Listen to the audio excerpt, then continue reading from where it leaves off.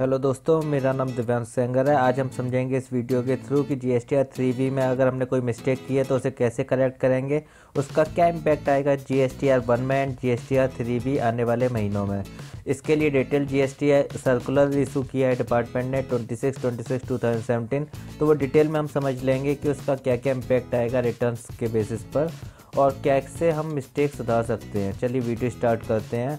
सबसे पहले समझते हैं कि सर्कुलर में कुछ ड्यू डेट्स के बारे में बताया गया है। तो ड्यू डेट्स मैं पहले ही आपको एक कैलेंडर के थ्रू बता चुका हूँ कि जुलाई, अगस्त, सितंबर, अक्टूबर, नवंबर की रिटर्न आपको G S T R one दस जनवरी, अठारह तक फ़ाइल करनी है, जिसको मंथली रिटर्न फ़ाइल करनी है। एंड क्वार्टरली रिटर्न जिसको जुलाई, अगस्त, सितंबर G S T R one file करना है, वो भी दस जनवरी, अठारह तक करना है। लेकिन क्वार्टरली रिटर्न वालों को पहले जुलाई की रिटर्न फ़ाइल करनी पड़ेगी एंड फिर अगस्त सेप्टेम्बर की। इसके बाद G S T R one quarterly वालों को पूरे क्वार्टर का फ़ाइल करते रहेंगे। तो ये ड्यू डेट कैलेंडर मैं पहले ही दे चुका हूँ अगेन आपको रिपीट नहीं करूँगा। आप कैलेंडर डाउनलोड भी कर सकते हैं, जो वीडियो लिंक दिया है उसके डिस्क्रिप्शन बॉक्स से। इसके अलावा इसमें सर्कुलर में बताया गया है कि G S T R three भी लेट फ़ीस जुलाई अगस्त सितंबर की तो नील कर दी गई थी, अक्टूबर से रिड्यूस कर दी गई है ट्वेंटी रुपीज़ पर डे लगेगी। अगर आपकी टैक्स लाइबिलिटी नील है और अगर आपकी टैक्स लाइबिलिटी है तो आपकी लेट फ़ीस लगेगी रुपीज़ फिफ्टी पर डे तो ये पहले दो सौ रुपये पर डे हुआ करती थी। इसके अलावा डिपार्टमेंट ने वार्न किया है कि अगर आपने एग्रीगेट टर्न ओवर डेढ़ करोड़ से कम है, लेकिन तब भी आपने quarterly G S T R one file करने के लिए ओके किया है तो आपको पनिटिव एक्शन लग सकते हैं मतलब पेनल्टी लग सकती है। इसके अलावा सर्कुलर में कुछ डिटेल्स दी गई हैं G S T R four से रिलेटेड तो G S T R four की भी डेट्स मैं पहले ही दे चुका हूँ कि जैसे जुलाई अगस्त सेप्टेम्बर की ड्यू डेट थी। चौबीस दिसंबर सत्रह और अब जो भी रिटर्न आएँगी कंपोजिशन की, जो भी क्वार्टर की आएगी, वो आपको फ़ाइल करनी होगी नेक्स्ट ऑफ़ एटीन जैसे आपका क्वार्टर ख़त्म होगा अक्टूबर, नवंबर, दिसंबर का तो 18 जनवरी। आपका क्वार्टर फोर ख़त्म होगा जनवरी, फरवरी, मार्च का तो उसकी रिटर्न फ़ाइल करनी होगी 18 फरवरी। मतलब जैसे ही आपका क्वार्टर ख़त्म होगा, उसके बाद जो नेक्स्ट मंथ है, उसकी 18 डेट तक आपको रिटर्न फ़ाइल कर देनी होगी। तो G S T R four की डेट्स अब यही चलेंगी कंपोजिशन रिटर्न की। इसकी भी लेट फ़ीस रिड्यूस की गई है। अगर जीएसटी पेबल आपका निल आता है तो रुपीज़ ट्वेंटी पर डे है late fees and GST payable अगर आपका निल नहीं है मतलब कुछ आपकी लाइबिलिटी है टैक्स लाइबिलिटी है तो आपकी लेट फ़ीस लगेगी रुपीज़ फिफ्टी पर डे ये नोटिफिकेशन भी आ चुकी है seventy three two thousand seventeen और ये मैंने आपको पहले बता दी थी। इसके बाद बात करते हैं हम मिस्टेक्स की। मिस्टेक्स कैसे करेक्ट करेंगे? तो G S T R three B की कुछ स्टेजेज होती हैं। स्टेजेज के बेसिस पर आप एक्शन ले सकते हैं। करेक्शन एक्शन कैसे होंगे, वो बात करते हैं। अगर आपने सबमिट की है और सबमिट करने के बाद ऑफसेट नहीं किया टैक्स लाइबिलिटी तो अगर आपने ऑफसेट नहीं की अभी तक तो आप पर एडिट फैसिलिटी अवेलेबल होती है। आप एडिट कर सकते हैं। लेकिन अगर आपने ऑफसेट कर दिया है तो आपकी ये एडिट फैसिलिटी ख़त्म हो जाती है। ऑफसेट मतलब आपने टैक्स लाइबिलिटी अपनी ऑफसेट कर दी अपने इनपुट क्रेडिट से या कैश लेजर से। तो अगर आपने ऑफसेट कर दिया सबमिट के बाद तो आप पर एडिट फैसिलिटी अवेलेबल नहीं होगी, फिर तो आपको रिटर्न फ़ाइल करनी है। उसके बाद क्या एक्शन लेने हैं, वो अभी मैं आपको बताता हूँ। ऐसे ही अगर आपने रिटर्न फ़ाइल कर दी है तो आप पर एडिट फैसिलिटी अवेलेबल नहीं होगी G S T R three B की। उसके बाद क्या सॉल्यूशन है? कैसे करेक्शन आप कर सकते हैं? वो हम अभी डिस्कस करते हैं। तो कॉमन एरर्स क्या क्या होते हैं? जो कवर किए हैं इस वीडियो में, वो समझ लेते हैं। सबसे पहला कॉमन एरर होता है कि जो आप आउटवर्ड सप्लाई की डिटेल्स देते हैं आउटवर्ड सप्लाई मतलब सेल की डिटेल देते हैं तो या तो कई बार हो जाता है कि गलत रिपोर्ट कर दिया ओवर रिपोर्ट कर दिया मतलब आपकी सेल थी सौ रुपये की, आपने एक सौ दस रुपये की कर दी, हो गई मिस्टेक आपसे, या सौ रुपये की सेल थी, नब्बे रुपये की कर दी, या फिर आपकी सेल थी लोकल लेकिन आपने क्या दिखा दी? इंटर स्टेट मतलब आउटसाइड स्टेट दिखा दिया स्टेट गलत चूज़ कर लिया। तो ये कॉमन एरर होते हैं सेल के अगेंस्ट में। इसके अलावा परचेज की साइड में क्या कह रहे हो? सकते हैं आपने इनपुट टैक्स क्रेडिट ज़्यादा ले लिया, आपने एक बिल को दो बार कंसीडर कर लिया, या फिर इनपुट टैक्स क्रेडिट कम ले लिया, आपके पास इन्वॉइस बाद में आया था, आपको रिसीव नहीं हुआ तो आप इनपुट क्रेडिट लेना भूल गए, या फिर आपने इनपुट क्रेडिट गलत ले लिया मतलब आई जी एस टी आपको लेना था सी जी एस टी ले लिया, या फिर आपको सी जी एस टी लेना था आई जी एस टी ले लिया। तो ये मिस्टेक्स हैं आपकी परचेज से रिलेटेड इसके अलावा एक और मिस्टेक हो सकती है कि आपको सी जी पे करना था, आपका इनपुट क्रेडिट कम है, आपको टैक्स बैंक के थ्रू पे करना था, लेकिन आपको पे करना था सी जी एस टी आपने गलती से पे कर दिया एस जी एस टी या फिर आई जी एस टी तो अगर आपने कैश लेजर में गलत पे कर दिया तो उसे कैसे सॉल्व करेंगे? तो ये सारे एरर्स हम इस वीडियो में कवर करेंगे। चलिए स्टार्ट करते हैं।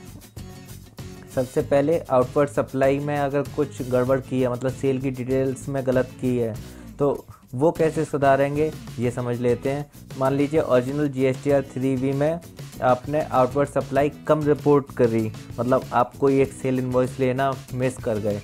आपके सेल इन्वॉइसेस थे, उसमें से एक सेल इन्वॉइस आपसे छूट गया, आपने कम सेल दिखा दी। कम सेल दिखाएँगे मतलब कम टैक्स लाइबिलिटी भी दिखा दी आपने। तो फिर उसे कैसे सुधारेंगे?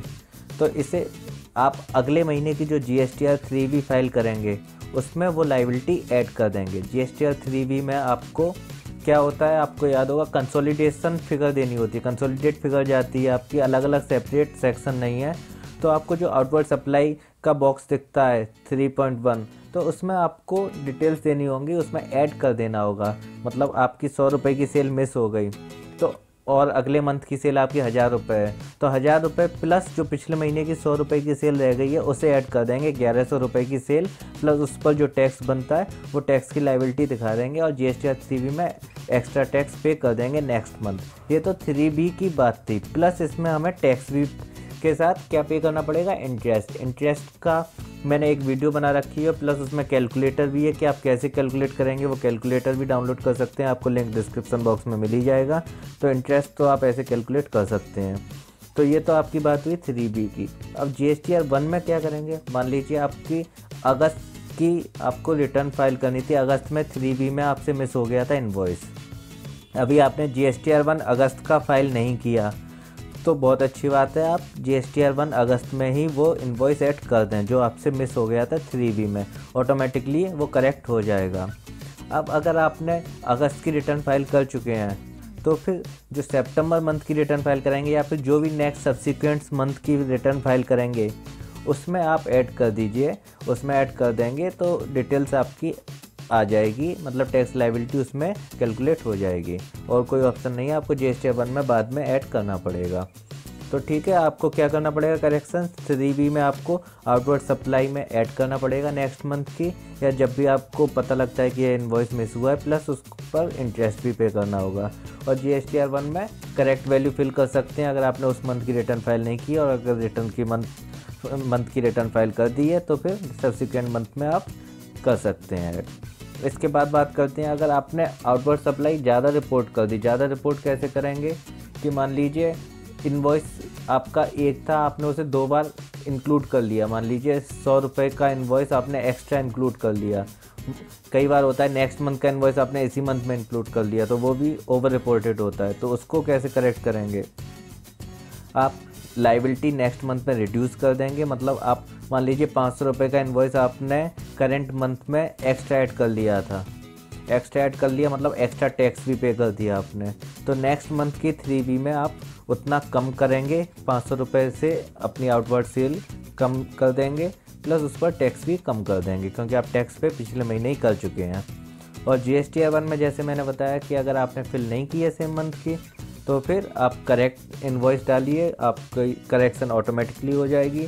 अगर आपने जी एस फ़ाइल कर दिया है तो टेबल आपको दिख रही होगी नाइन नंबर टेबल तो टेबल नाइन में आप अमेंड कर सकते हैं। बहुत इजी टेबल है, उसमें आप अगर बी टू बी है तो इन्वॉइस नंबर डालेंगे, उसमें ऑटोमेटिकली डिटेल आ जाती है प्रीवियस मंथ में जो आपने फिल की है। आप उसमें करेक्ट कर सकते हैं। बी टू बी में केवल आप जो जीएसटी नंबर है प्लस नेम वगैरह डिटेल चेंज नहीं कर सकते, उसके अलावा उसमें टैक्स चेंज कर सकते हैं टैक्सेबल अमाउंट चेंज कर सकते हैं, काफ़ी सारे चेंजेस कर सकते हैं। तो टेबल नाइन अब आपको सब्सिक्वेंट मंथ्स में दिखेंगी और उसमें इन्वॉइस ऑटोमेटिकली आ जाएगा अगर आपने रिटर्न पुराने महीने की फ़ाइल की है तो। ऐसे ही आपको अगर सब्सिक्वेंट मंथ में ये इजली चेंज कर सकते हैं तो आर्टवर्ड सप्लाई अगर ओवर रिपोर्ट की है तो आप थ्री बी में कम रिपोर्ट कर दें प्लस जी एस टी में करेक्ट फिगर फिल कर दें, अगर सेम मंथ की रिटर्न फ़ाइल नहीं हुई तो अगर रिटर्न फ़ाइल हो चुकी है तो नेक्स्ट मंथ के जी एस टी में अमेंडमेंट टेबल में आप चेंज कर सकते हैं। बी टू सी के लिए भी अवेलेबल है बी टू बी के लिए भी अवेलेबल है क्रेडिट डेबिट नोट्स के लिए भी अवेलेबल है अमेंडमेंट टेबल इसके बाद बात करते हैं रॉन्ग लाइबिलिटी आपने रिपोर्ट कर दी। मतलब आईजीएसटी आपको टैक्स पे करना था, आपने C G S T H G S T pay कर दिया। मान लीजिए आपके सेम स्टेट में सेल थी, लेकिन आपने प्लेस ऑफ़ सप्लाई गलत चूज़ कर लिया और आपने आई जी एस टी पे कर दिया। लेकिन पे क्या करना था? C G S T S T S T या उल्टा भी हो सकता है कि C G S T S T S T pay करना था, आपको प्लेस ऑफ़ सप्लाई गलत लगा, आपने आई जी एस टी पे कर दिया। तो करेक्शन कैसे करेंगे नेक्स्ट मंथ के G S T R three में एडजस्ट कर लीजिए मान लीजिए आपने आई जी एस टी पे कर दिया था और C G S T S G S T pay करना था मतलब आई जी एस टी पे कर दिया तो आई जी एस टी आपको माइनस करना पड़ेगा नेक्स्ट मंथ की जी एस टी थ्री में और C G S T S G S T pay करना था नहीं किया पिछले महीने तो वो C G S T S G S T की लाइबिलिटी नेक्स्ट मंथ में ऐड कर देंगे तो ये तो हुआ थ्री बी में करेक्शन थ्री बी में एडजस्ट कर देंगे इस तरीके से जी एस वन में क्या करेंगे? वही करेंगे जो मैंने पहले भी बताया कि अगर आपने G S one same month की फ़ाइल नहीं की है तो तो आप करेक्ट डिटेल्स डालेंगे ही डालेंगे। अगर आपने जी एस वन फ़ाइल कर दी है तो नेक्स्ट मंथ में अमेंडमेंट टेबल है आप टेबल नाइन उसमें चेंज कर सकते हैं। टेबल नाइन का मैं एक ब्रीफ भी अभी दे दूँगा, आपको इसी वीडियो में आपको मालूम पड़ जाएगा कि उसमें कैसे चेंज कर सकते हैं। इसके बाद ये तो आपकी आउटवर्ड सेल की डिटेल्स थी, कैसे चेंज करेंगे। अब बात करते हैं इनपुट टैक्स क्रेडिट की अगर आपने डिटेल गलत डाली है तो उसको कैसे चेंज करेंगे? इनपुट टैक्स क्रेडिट अगर अंडर रिपोर्ट किया है मतलब परचेज आपसे मिस हो गई परचेज की थी आपने, लेकिन परचेज लेना भूल गए अपनी G S T R three B में तो क्या करेंगे? नेक्स्ट मंथ की G S T R three B में एलिजिबल आई टी सी जो आपका ऑप्शन है, उसमें इनपुट क्रेडिट ऐड कर देंगे। G S T R one में कोई एडजस्टमेंट की ज़रूरत नहीं है, क्योंकि इसमें परचेज किया इनपुट टैक्स क्रेडिट की डिटेल्स नहीं जाती जी आर टू में करेक्ट फिगर्स भरेंगे, लेकिन जी आर टू की अभी डेट्स नहीं आई हैं। टू एंड थ्री कैसे फ़ाइल करनी है, वो अभी आगे आने वाले टाइम में हमें पता लगेगा। अभी होल्ड पर हैं ये। फ़ाइल ज़रूर करनी है, लेकिन अभी होल्ड पर है, ना ड्यू डेट है, ना अभी फ़ाइल करने की रिक्वायरमेंट है। ऐसे ही अगर इनपुट टैक्स क्रेडिट आपने ज़्यादा ले लिया, किसी परचेज इन्वॉइस को आपने दो बार ले लिया, दो बार इनपुट क्रेडिट हो गया तो उसका क्या करेंगे? रिड्यूस कर दीजिए रॉन्ग आईटीसी जो आपने अवेल कर लिया था थ्री बी में और इंटरेस्ट भी पे करना पड़ेगा क्योंकि आपने इनपुट टैक्स क्रेडिट गलत अवेल किया। G S T R one में आपको कोई एडजस्टमेंट नहीं करना है। G S T R two में करना होगा तो वो आने वाले टाइम में हम देख लेंगे। जो आपको एक वीडियो मैंने और भी दी थी सर्कुलर सेवन सेवन की तो उसमें आपको डिटेल था G S T R two and three में भी आप चेंज कर सकते हैं। लेकिन वो अभी एप्लीकेबल नहीं है जब तक टू एंड थ्री होल्ड पर है। और इंटरेस्ट कैसे कैलकुलेट करेंगे, आपको डिस्क्रिप्शन बॉक्स में मिल जाएगी वीडियो इसके बाद अगर wrong I T C avail कर लिया है मतलब आई जी एस टी की जगह S C G S T S S T input ले लिया या वाइस वर्सा तो रिवर्स कर देंगे गलत आई टी सी को और करेक्ट आई टी सी को ऐड कर देंगे। मान लीजिए सी जी एस टी आपको ऐड करना था, उसकी जगह आई जी एस टी में आपने इनपुट डाल दिया तो सी जी एस टी में इस नेक्स्ट मंथ में ऐड करेंगे और आई जी एस टी से माइनस कर देंगे। मतलब जो भी करेक्शन है, वो आप नेक्स्ट मंथ में एडजस्ट कर सकते हैं। इसके बाद अगर आपने जीएसटी गलत हेड में पे कर दिया मतलब आईजीएसटी आपको टैक्स पे करना था बैंक के थ्रू लेकिन आपने सीजीएसटी पे कर दिया तो क्या करेंगे?